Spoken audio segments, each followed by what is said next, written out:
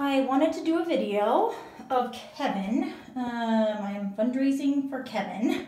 He's a feral cat, and so he's all tucked away. We just got back from the vet. He's tucked away in his trap. It's covered because feral cats like to be in covered areas. So um, now I'm gonna undo this trap so that he can have room to move when he's feeling comfortable. Um, but he just got back from the dentist. Uh, here, let me uncover this a little so you can maybe see him. Little guy there. Um, so he had 18 teeth removed, and there were five teeth that were already gone.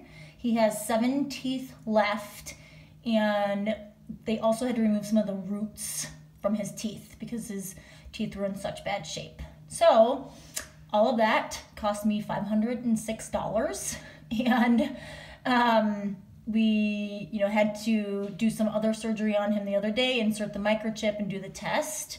And all of that cost me another 85 so i am fundraising to help pay for those vet expenses. Um, we do have another cat from the same colony who is one of the older guys. I call these guys the og dads.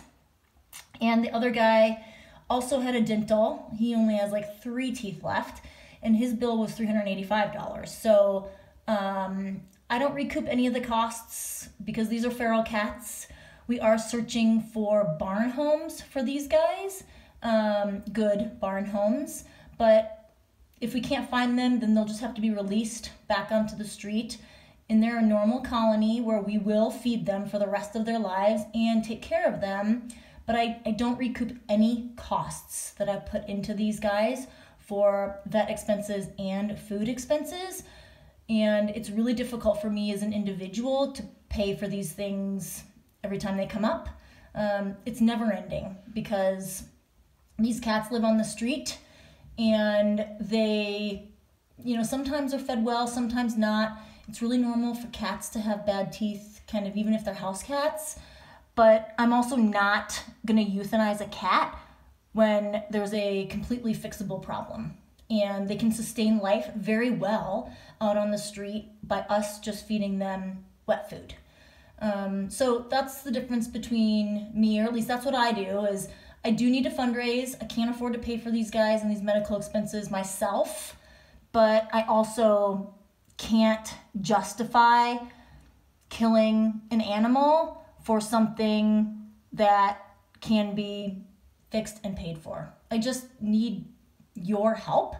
Every single dollar, every single 25 cents, every single penny counts. So, Simba's Pride is the name of the organization.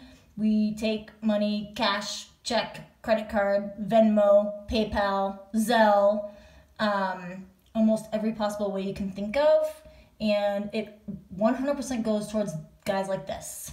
I have a full time job, so all of the money goes towards vet expenses, all of it. and um, so if you want to help or if you can help, pay me a dollar to help Kevin pay for his medical expenses. He's going to be a much, much, much happier cat, this little guy. Let me see. I wonder if I can zoom in when I'm doing this. Let me see. Because he's so cute. He's got his tongue out. Oh, yeah, there. Yeah, look at him. What a cutie, huh?